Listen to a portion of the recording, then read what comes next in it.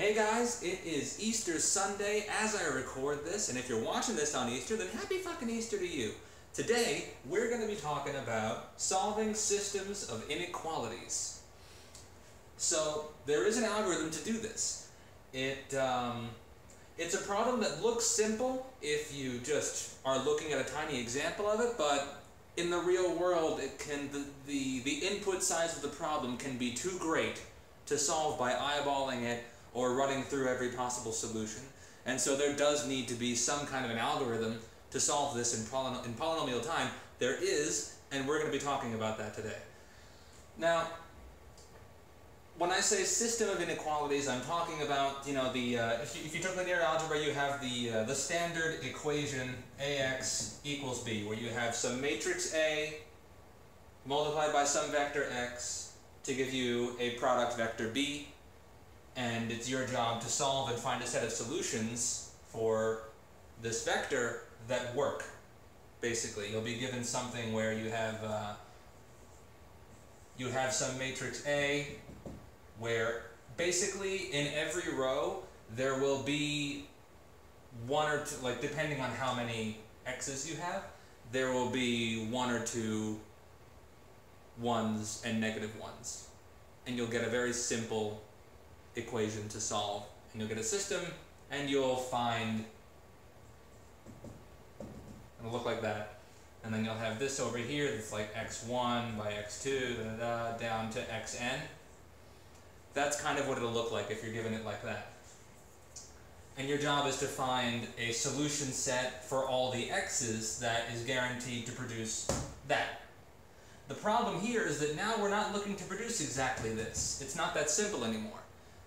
There's, there's always, of course, a simple way to solve for just an equal sign here, but if we have a, an inequality, the graph turns into, it's kind of a mess now, right? It turns into this. And then if we, as we add more and more inequalities, we just keep slicing. Yeah? So the solution set is, the possible solution set is very large. So we're just looking, we're just looking first to see if it's feasible. Second, can we just find a solution set that works? And that is what we're going to do. So the way to tackle this, the algorithm to solve this in polynomial time, is to turn it into a graphing problem and then use a shortest path algorithm to determine the solution set. At that point, turning it into a graph is obviously polynomial in terms of the size of the input. You run through the vertex, you, you run through your x's and you create vertices for each one. That just takes n. Then um, whatever shortest path algorithm we use will run at the speed of that shortest path algorithm, which will be polynomial. So we'll have a polynomial plus a polynomial, which is polynomial. So what are we going to do specifically? First, we're going to create a graph, V and E, and our vertices are going to be vertices starting from 0 up to n. Now you notice that there's an extra vertex there, and that'll come up later.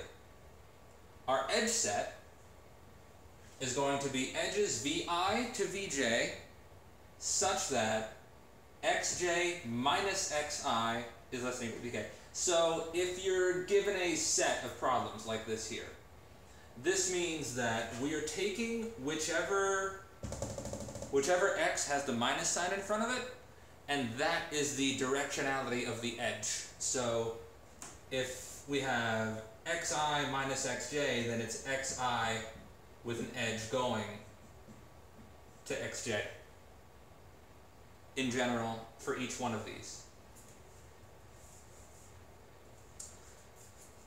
less than or equal to bk, so whatever, so whichever b is associated with that. Right? And then your edge weights, vi to vj, so for every one of these, the edge weight is just the given bk for that solution. So in this case, the edge weight here would be 2, and then here it would be negative 1, and we'll get to that as we do the example. Now, this extra vertex, this v0, because obviously we have vertices 1 through n for every x, but then we have this v0. v0 has an edge going out to every other vertex. It has an outgoing edge from itself to every other vertex, so it can't be part of the cycle. And every edge coming out from it has a weight of zero, so that it doesn't influence our shortest path algorithm. But it will be the source, guaranteed, for the shortest path algorithm that we're going to use. V0 is our source. So, now that we've got that out of the way, now that procedure has been honored, we can just get through a quick example. We're not going to be here long, actually. This is going to be a shorter video. So let's create the graph. Hopefully you wrote down what was over here. let's create the graph. First, we've got V0, right? We make that, that's there. And then how many do we have here? We're going to use this set of equations here, of, sorry, inequalities.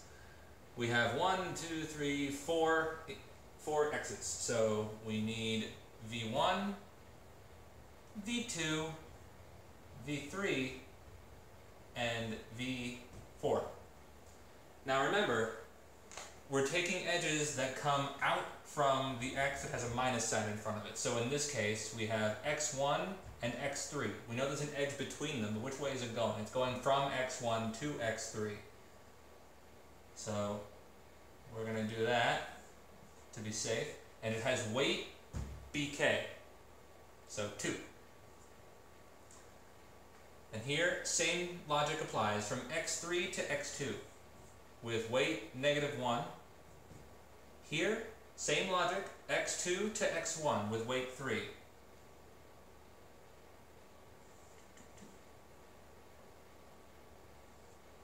Here, x3 to x4 with weight 0, not bad. Here, x4 to x2 with weight 5. So we'll, we'll do, we'll come around here. So that it's easy to read. No, it's to save us uh, trouble here, because we have to make these edges yet. So remember, V0 has outgoing edges to every other vertex, all with weight 0. And that is what our graph looks like if we take this and transform it into a graph. And now, first thing we want to do is determine whether or not this system is feasible. How do we, how do we tell if it's feasible? Well, if it has a negative cycle, then that means that we cannot find a solution set for these x's such that these inequalities always hold true. So if it has a negative cycle, we can write it off right away and say it's not feasible to find a solution set for this. So what shortest path algorithm would we want to use to check and determine whether or not a given graph has a negative cycle? That would be Bellman-Ford. So we're going to apply the Bellman-Ford shortest path algorithm on this graph, not specifically on this graph. We're not going to run through the entire application. What I'm going to do is I'll give you the solutions for it. Because if you've watched the other video, you've already seen me go through an exhaustive example of Bellman-Ford. I think it's a 20 minute video where I go through a whole thing and we do all of Bellman-Ford on a graph. So we're not going to revisit that. And plus, you may not even be asked to do it on an exam. What he may do is just ask you to do this step and show that you know how this works and then check, just eyeball to see there's a negative cycle. And then he'll ask you, is it feasible? You'll say yes. Or no, and then he'll ask you what would you have to change or something like that. It's all going to be eyeballing it and doing mental arithmetic. Um, but anyway, we're going to apply Bellman-Ford with our source vertex v0.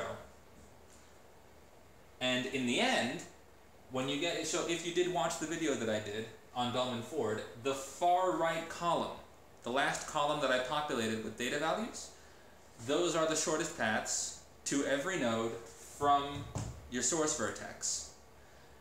Those values are the solution set. So it would look something like this. You'd have, we have four x's, so we're going to have four deltas in the end. Four shortest path values. And they're all going to be coming out from V0, V0 to V1, V0 to V2, V0 to V3, and from V0 to V4.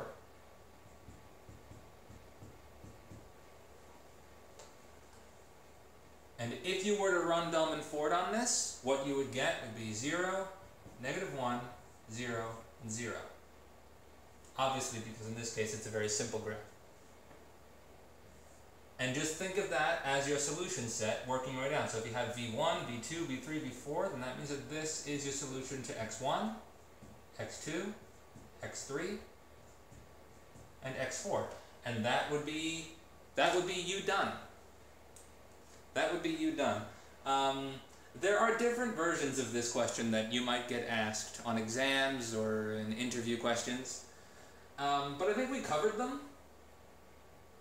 Either you'll be asked to actually run Bellman-Ford, in which case that's fine. You just run Bellman-Ford and then you get your answers. Or if he's not going to ask you to run Bellman-Ford, uh, what he'll do is just have you eyeball the graph and determine whether or not there's a negative cycle. Like in this case,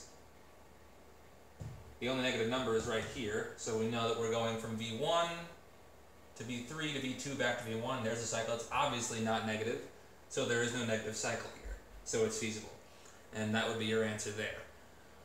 Or you would find a negative cycle, and he might ask you a question like, what value would you have to change in order to make it feasible? Or an another version of the question that I've seen is, um, what would be the smallest value to which you could change a given edge weight uh, to make the system feasible? And in both cases, it's just eyeballing it and doing some quick mental arithmetic. The the most cumbersome version of this problem is definitely having to run Bellman-Ford, although honestly I've never actually seen a given problem where you had to run Bellman-Ford on the graph. The most important part here is knowing this step. And if you watch this video, then you know it. And as far as I know, there are no other videos on this, specific subject on YouTube, so, so congratulations.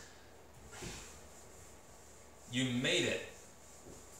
You know the trick to solving a system of inequalities in, in, uh, in polynomial time. Uh, this has been great.